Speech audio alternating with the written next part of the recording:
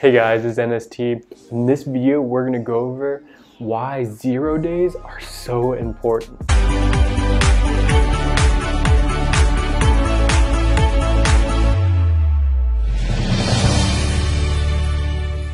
So when you're traveling, you might be traveling for a month or a year or however long it is.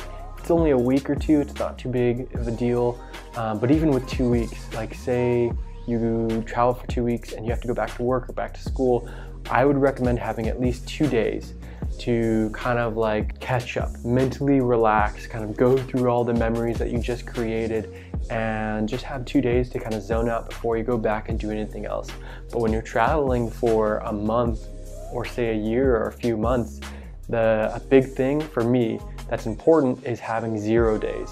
So after, you know, say you're hiking on a long trip for a month or two, or you're just going on traveling, going and doing stuff after stuff after stuff, it's good to just step back and be able to relax, not do anything, not see see any sights, not go run around and drink or do whatever it is you like to do when you're traveling, but have a day or two just to maybe even get a nice hotel.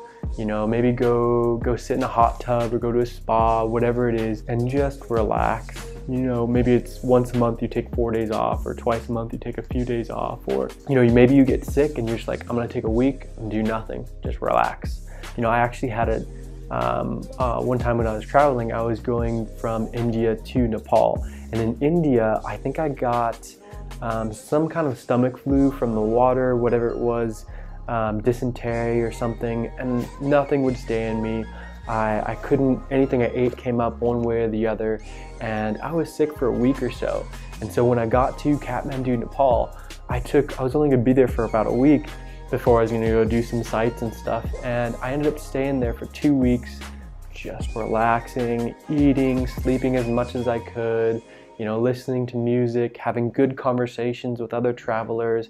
And it was like a week of zero days, like a week and a half, a week of zero days. It was super, super relaxing. And I actually really enjoyed it because I didn't do much. I mean, I went to the monkey temple and I saw a couple of other things, but it was great because it was just like, I'm just here, I'm in the zone out. I'm not worried about doing anything. I'm not worried about making videos. I'm not worried about seeing all the sights. You just kind of you know, just go with the flow and chill out. And uh, I don't always like to be like that, but if you're sick or if you've been going 100 miles an hour the whole time, then it's it's good to slow down, step back, and relax. You know, every now and again, depending. Some people have a little bit more stamina and they can go longer periods of time without relaxing. Or if you plan in your trips you know, like I try to in the mornings, I try to do some writing, I try to do some editing, um, I do my journaling and maybe reading. If I, you can set a few hours in the morning just to kind of wake up, get some work done, you can do some stuff that keeps your mind focused and thinking logically. It's good to, it kind of balances out all that free spirited doing, you know, whatever it is you're doing and kind of keeps you, um, keeps you improving yourself and keeps you from, you know, kind of um, mentally and physically kind of going down. You know, I, I didn't do it too much last year, but a big thing when it comes to zero days, whatnot, is uh, maybe you don't feel in shape, and maybe for you, um, a zero day on a zero day you might just want to go running or work out or exercise. I try to incorporate that you know throughout my traveling every day and if you can do that it makes you feel 100% better.